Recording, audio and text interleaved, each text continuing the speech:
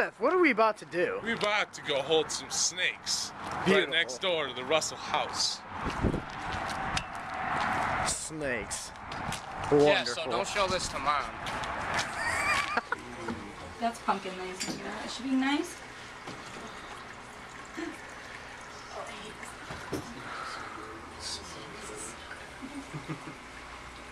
That's pumpkin. Here, show him her butt. She, her butt's fat. Oh, jeez. Oh. Look at that together. She's curious. I'll squirm around. Hi. No, no, no.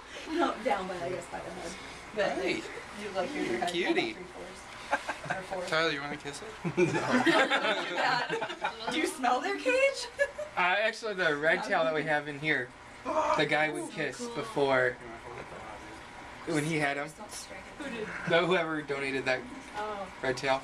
oh yeah. Would Go if you're gonna go like if you want to pet them, go down here more, and then like not really at the Hot head. kitty. Ooh. That feels. A lot of people think snakes are slimy. They're not. That feels Your weird. nut job It's a lot different right? than I thought it was gonna. Be. I thought it was gonna feel more scaly. Uh uh. Pumpkin probably just shed not too long ago too. Who's next? Me. Me. Yeah. Just grab. There you go.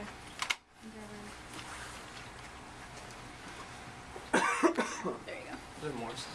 Yeah, there's four. She's just smelling it That's crazy. because they can't hear. smell They don't have ears. So when they stick out their tongue. cool. We just fed some of them today too.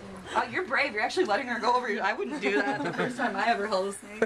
I held him like this the first time I ever held him. That's crazy. I sent a picture of this to my mom. She would freak. You want me to take a picture? Yeah. I think my phone's.